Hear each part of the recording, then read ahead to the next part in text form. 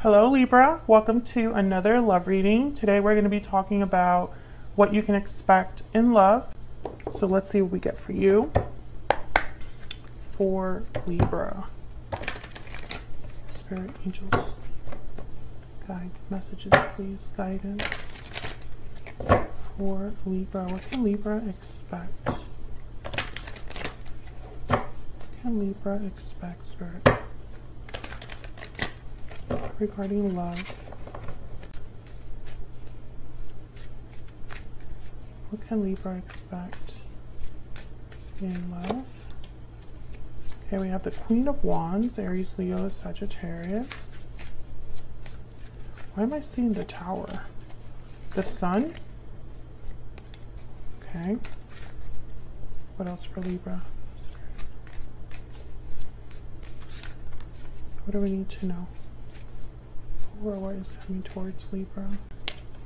The Empress. Okay.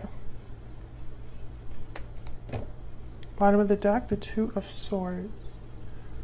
Well, at first, this looks really great. I see growth, opportunity, creativity, passion.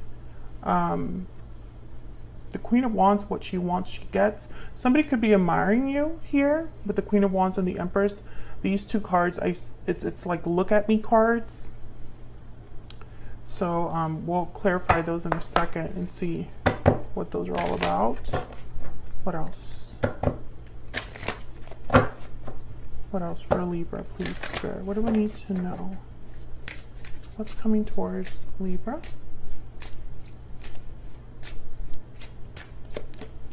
Lasting promise, commitment, longevity, future. This connection will stand the test of time. Sweet Dreams, and Wedding Bells. So something here, definitely with marriage, engagement, commitments. These two cards are like my commitment cards from my Stellar Energy Oracle deck. So either this connection will lead to long-term commitment,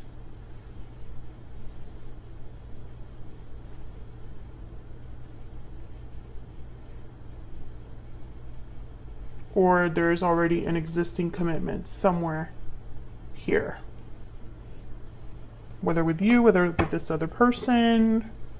I don't want to jump to third party um, interference just yet, especially because Sweet Dreams is here. This is a card about like your dreams becoming reality. So it could be that this is exactly what you need, something that makes you very happy, especially because the sun is here. But I saw the tower when I saw that Queen of Wands. So I'm just kind of there's like an undercurrent here of like there's more to this than maybe the tarot is showing me right now. So let's see. Why is the Queen of Wands here, Spirit? Why is the Queen of Wands here? The Page of Cups. Oh yeah, I definitely feel like this could be somebody that notices you, is attracted to you. You have the Emperor, Aries energy, could be a masculine energy that wants to offer you this cup. Yeah, King of Cups, Cancer, Pisces, Scorpio energy. Ten of Swords at the bottom of the deck. See, there's like something else here that I don't really see just yet. Hopefully, the more we clarify, we'll get more insight. But someone's definitely interested in you, Libra. Someone has feelings for you. They could be wanting to apologize. This Page of Cups with this Ten of Swords. Or they're just drawn to you, interested.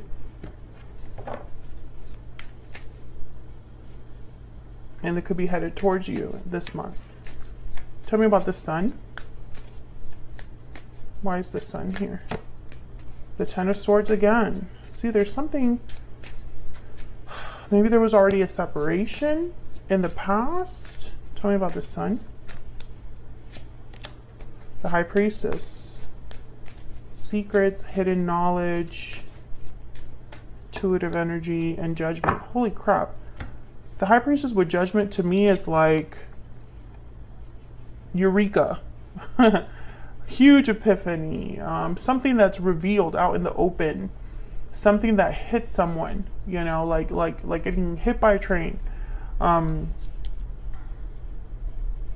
especially because the high priestess and the sun to me they're like opposing energies. The high priestess is very quiet secretive. The sun's out there radiant. You cannot ignore the sun, right? So I feel like there's something else here. I'm going to clarify that judgment card as well. Tell me about judgment. Judgment is about awakenings, realizations over the past, rebirth, revivals. You're understanding something, and then that that kind of um, helps you graduate with the world that comes right after it. Tell me about judgment. King of Wands. Yeah, so whatever this is, someone's going to act on it, or is kind of like sparking all of this. Like, there's the lovers, Gemini energy. And then bottom of the deck, death. Scorpio energy. So I feel like this is happening after some sort of ending. We have the Ten of Swords, Death, both cards about difficulties, endings. Yeah, and then the Eight of Cups. So I don't know if this is a separation that already happened between you and this person, or if um, someone is walking away from something, ending something in their own life, and they're headed towards you now. I could I see both ways here. Tell me about the Empress. Why is the Empress here?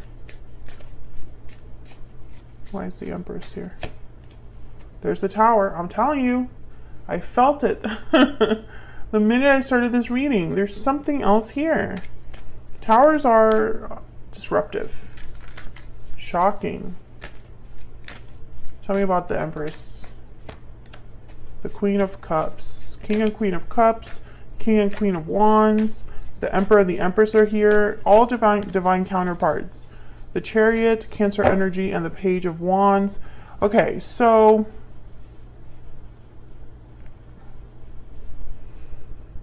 Page of Wands, the Chariot, the, the Tower. I'm getting like someone just shows up. Libra. Like someone just shows up. They take the risk to just visit you, appear, make a move here. That's like King of Wands energy. It's almost like someone's like, okay, I'm going to act on this. There's love here. The Queen of Cups, King of Cups, Page of Cups, the lovers. There's a strong connection here, an undercurrent, you know, it's like there all these pairs happen to be here. Me get one more. Now, when it comes to action, I feel like the action is really these pages, messengers, right?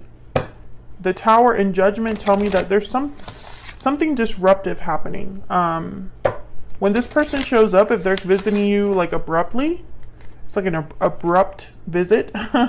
if that's what's happening, I feel like there's going to be almost like a like a shocking energy there, or something like you know, it's it can't be ignored, whatever is happening. Someone could be having a realization about their feelings or wanting to make a move, a judgment call on something to do with this connection because we have judgment with the lovers. What else we need to know about this connection? Soulmate. Yes, this is your soulmate, and this could be the one. Are you freaking kidding me?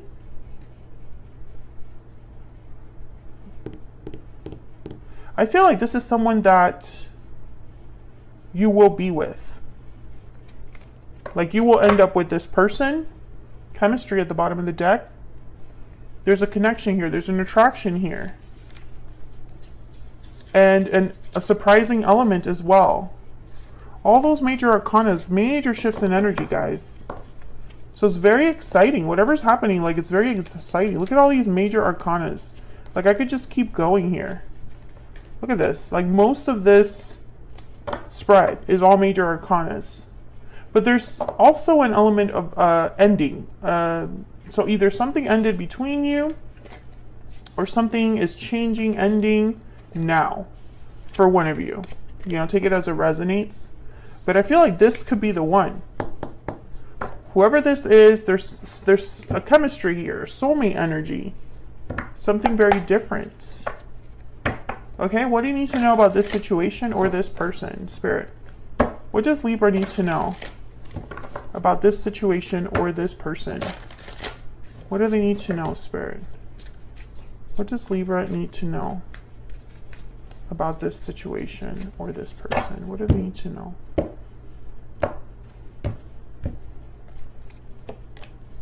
Judgment again, Three of Swords, and the Nine of Cups. The High Priestess again at the bottom of the deck. So, I don't know. I feel like this is going to be. I, I keep getting the word disruptive. So, it's almost like you're minding your own business, and this happens to you. um, I wonder why the Three of Swords is here. Let's see. Spirit, tell me why is the Three of Swords here for Libra? The Six of Cups. So there's already a, a past. I feel like there was already a history here. Now, for some of you, this is a past life connection. So you've never met in this lifetime. And for others of you, this is a soulmate that you have history with. There, there's been pain in the past, but they are who you are meant to be with. The Nine of Pentacles, okay? Knight of Swords. So I feel like there's going to be some sort of um, contact from this person. We had the Page of Cups previously, the Page of Wands. That, you know, abrupt visit energy that we got as well. Tell me about Judgment. Why is Judgment here? Wow, the Emperor with the world. Holy crap. So Judgment leads to the world a new beginning, a new start, a new cycle. And it's because of this person. Yeah, Queen of Pentacles is here. I don't sense this is you specifically. And the Six of Swords is at the bottom of the deck. So there's that like departure, walking away energy. Six of, okay, hold on. Tell me about the Queen of Pentacles. My deck wants to talk. Tell me about the Queen of Pentacles, please, Spirit. What do I need to know? Five of Wands. See, I feel like this is a, uh, yeah, and there's a tower. There's something else here with another person. Not necessarily that they have to be a romantic partner. They could be a family member, a coworker, a boss, past partner, friend, etc., etc. But there's issues here. Then the tower, I feel, is like part of this. But the Ace of Cups is after the tower, so I don't think this is terrible. Like, I don't think that this is like doom and gloom. But there's definitely like a little bit of like an obstacle here. And maybe that's why the Three of Swords and the Five of Wands showed up. And so that's what you need to know about this. That it's not going to be all butterflies and rainbows, but um, I feel like this is not going to be so difficult that nothing happens in the end or that nothing improves. Because the Nine of Cups is here as well. This is wishes granted. This is satisfaction. This is feeling fulfilled. Why is the Nine of Cups here? Queen of Cups. I feel like that is you. Tell me about the Nine of Cups. Five of Pentacles. Yeah, so whatever this is, um, I feel like there's going to be an exchange. Page of Swords, Knight of Wands, there's that like message again. Someone's going to be taking a risk here. There's the Fool. Someone's going to risk, take a leap of faith or risk in reaching out here. In having this contact. Page of Swords, Knight of Swords. They're going to talk to you. That's what you need to know. That there's contact communication coming in. But also you need to know that there's more going on behind the scenes that you than you might realize. And that is going to affect whatever happens between you and this person. However, I don't feel like it's something that can't be overcome or that can't be addressed. There might be an exchange here. I feel like of, uh, astrologically, a lot of the signs are going through this. You cannot have it all. Something has to give. Thoughts and expectation. Okay. So, yeah, a message at the bottom of the deck. Someone is thinking about you enough to message you. And with the expectation card, I'm getting almost like someone sees you, notices you, or is thinking about you waiting on them or waiting for them to reach out.